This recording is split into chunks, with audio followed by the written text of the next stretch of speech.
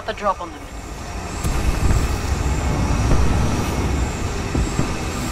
Bravo 6, They're behind us!